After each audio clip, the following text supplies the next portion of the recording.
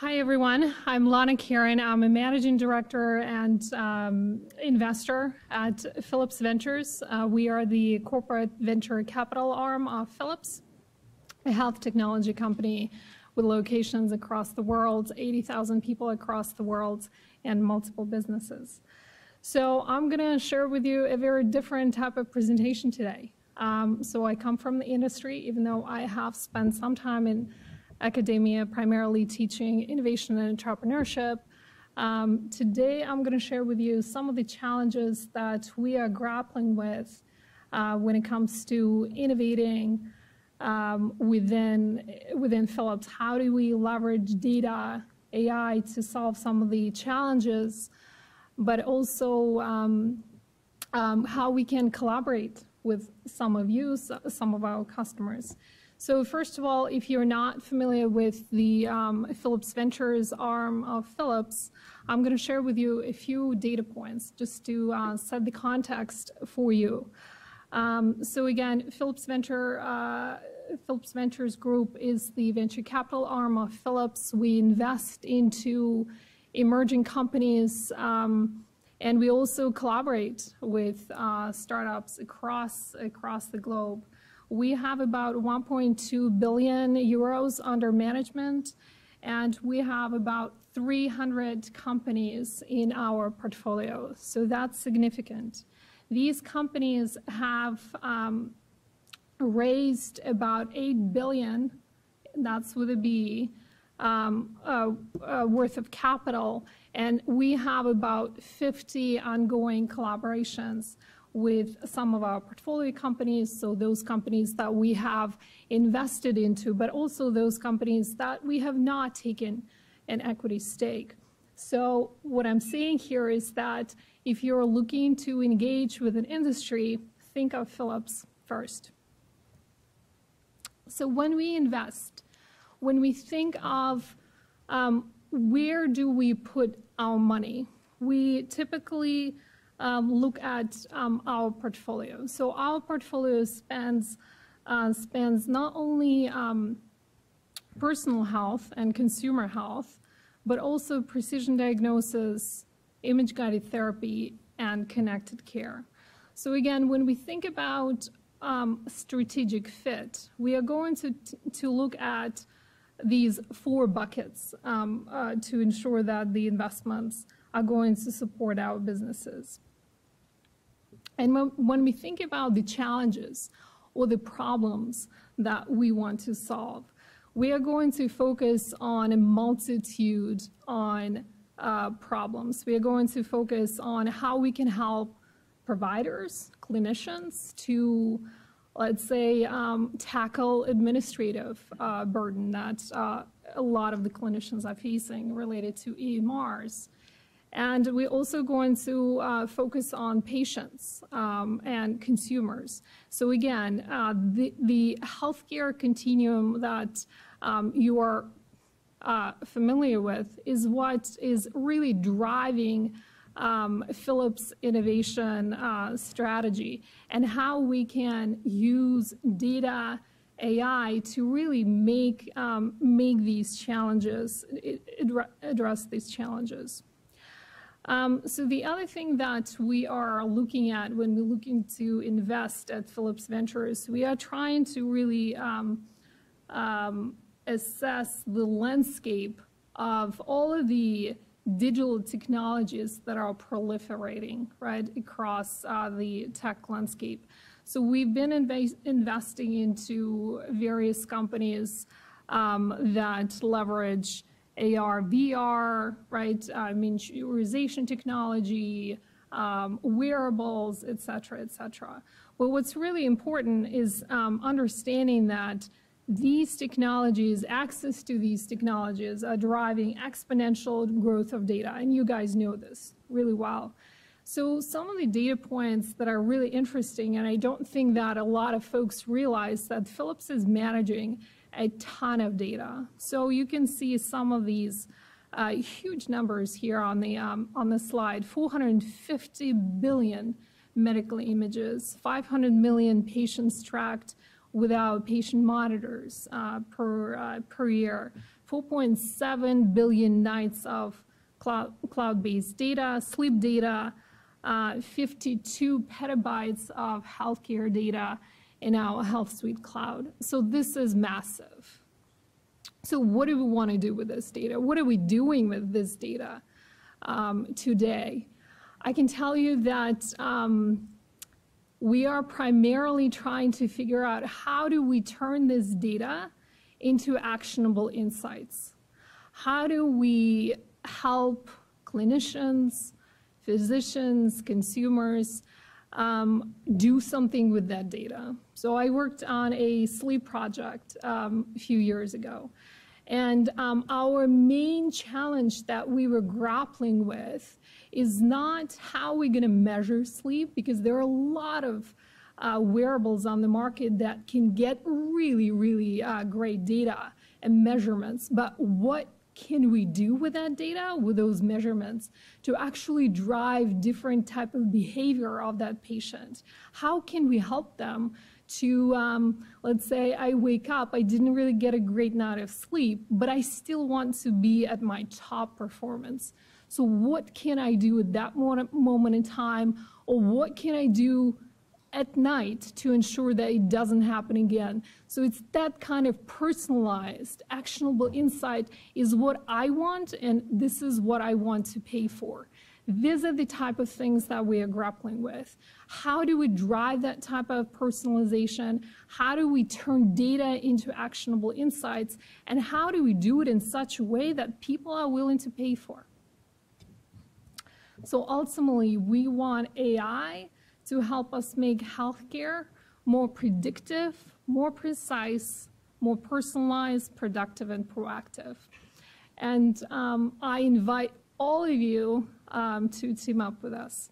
So I'm going to share with you a few examples from our Philips Ventures portfolio and also from our Philips, Philips um, product portfolio. So um, one of our large businesses um, is focused on image-guided therapy. So think of cath lab setting. And um, within cath lab setting, we focus on solving both clinical problems and challenges, but also operational challenges. So I'm going to tell you about, um, to uh, share with you a couple of examples that primarily focus on solving operational challenges. So this is an example of a company called Metapixel that we've invested into that helps us uh, leverage AI, computer vision, to essentially automatically seg segment a coronary tree. And that allows us not only uh, to help physicians detect lesions and also uh, segment the, the tree to make the whole process of the PCI procedure a lot easier and um, better, but also it helps us um, capture all of the measurements that are typically done manually in order to speed up and make the process of reporting and documentation easier so that doc at the end of the procedure doesn't have to actually spend the time on reporting, but can take a break, or at the end of the day doesn't really have to worry about filling out the notes, but can go home and spend time with the family. This same challenge is in focus here with another partner that we have, the company called Suki AI. Suki AI has uh, developed NLP, natural language processing technology, that helps us ca capture some of the data points in the cath lab um, in order to, again, speed up the process of documentation and reporting. Historically, again, right now, what happens is physicians are just calling out different data points uh, to the logging nurse. Sometimes they um, actually um, are, those data points are not captured. The logging, it's, it's really loud, right, in the cath lab. So those data points just um, do not get into the report. So what happens then? Well, first of all, the hospital is not able to get reimbursement um, for what uh, it actually performed. And um, two, um, it also creates, again, that additional burden on the physician to spend the time at the end of the day or at the end of the week to fill out those notes. Again, these are, these are the two examples of um, the partnerships that we have, of the collaborations that we have with uh, data AI companies and how they are helping us address what's happening in the image-guided therapy um, space. Um, I'm going to show you a couple more. These are focused more on the neurovascular um, space um, and collaboration with a company called Civiade, so pre-commercial company.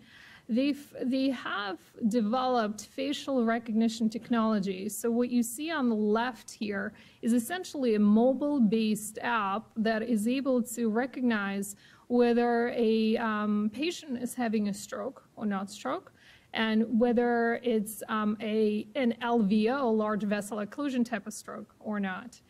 And it's typically targeted, right now it's targeted towards the EMS setting, so emergency um, professional type of setting, or it could be also used in the home setting. So let's say I'm home um, with, um, with my kid and he is not really, and I'm having some symptoms. Even he would be able to um, take the mobile app and, you know, it will take him through um, several simple um, steps to really help uh, figure out what to do next.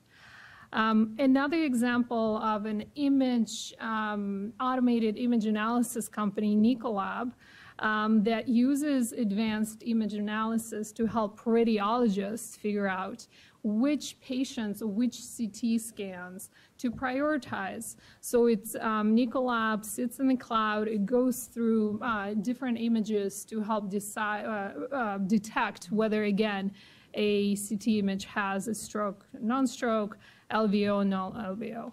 And why does this matter? It matters because time is brain when it comes to strokes. So what we want to do here is we want to um, not only optimize and streamline, but we want to accelerate time to treatment because so many patients, by the time they get to the interventional suite uh, with an LVO type of stroke, they're not eligible for that stroke. So what happens then? Well, either they die or they have significant disability. And we know that uh, stroke uh, is the leading cause of disability worldwide, and it is also the second cause of death worldwide. So I'm going to shift gears and uh, show you um, some of the examples now uh, from our uh, Philips Brada portfolio. So this is an example now of a mobile-based um, uh, probe, Lumify. So what you see on the on the right, and on the left we have Collaboration Live. So again, mobile-based. Um, um, app that allows uh, remote care providers to connect with licensed um, ultrasound technicians to, um, to provide care to patients um, uh, in remote areas. Um, it leverages AI and um, again, it's mobile based, so I thought that it might be of interest to you. Another example is how we are leveraging um, AI to help uh, uh, radiologists um, acquire better images. Um, so this um, this example again, you probably can't see the details, but basically. Um, it helps improve the quality of the image acquisition. It helps also shorten the time that um, uh, it takes to acquire images. This is another example of how our MRI machines help um, uh, by using this light or breathing gating algorithm to really um, take images when uh, the time is right, when uh, the patient is um, uh, breathing um, or not breathing specifically. Um, there are many other examples that we have across our diagnosis and um, image-guided therapy portfolio, but I wanted to shift gears to um, uh, some of the products that we have in our consumer health and more home outside of the hospital setting uh, portfolio. So um, this is an example of a wearable um, that um, can be used uh, either um, um, you know outside of the ICU or um, in the home setting. So it helps uh, acquire a number of uh, measurements. But again, um, what we are seeing um, with many wearables uh, right now is that there is an oversaturation of wearable devices. And what's really important, it's very difficult to differentiate. It's very difficult to really position yours as the uh, device that everybody is going to pay for. And what we are focused, again, what the challenges that the key challenge here is for us, how do we use AI to really help drive those actionable insights or how do we deliver insights to the physician to identify those patients that are at risk? And two, um, uh, I think these are the two last examples that I have. We have um, a mobile-based um, sleep uh, or chronic management type of app that allows um, patients get better at managing their sleep apnea or some COPD. Um, so again, uh, we are looking to add those personalized uh, insights, or we call it intelligent coaching. How do uh, can we add this intelligent coaching capability or functionality to help make a difference um, in uh, in an individual's life? And last but not least, we have I'm a, I'm a fan. I'm a Sonicare user. We have a fantastic portfolio of um, toothbrushes, and they also use um, AI to help um, adults, uh, but also kids, get better brushing habits. Um, so with that, I'm going to transition into a summary and just a few key uh, takeaways, and I'll, and I'll take uh, questions. So when we design AI-enabled solutions, what we are focus, focusing on is one, how we can help us augment the expertise of the healthcare providers, how we can improve operational efficiencies, and last but not least, how can we empower all of us um, to develop uh, and stick to better habits to improve our health. Um, as I mentioned at the very, very beginning, we can't do all of this ourselves. We are uh, closely working with many of our uh, customers. Uh, we call these uh, long-term strategic partnerships uh, where we um, trial these kind of solutions, where we team up on data type of projects, um, so I invite you to reach out to me and um, the rest of the team at Philips to explore how we can team up. Last but not least, the future of healthcare is definitely personalized, uh, definitely connected and integrated. So uh, looking forward to teaming up with all of you to uh, make this happen. Thank you.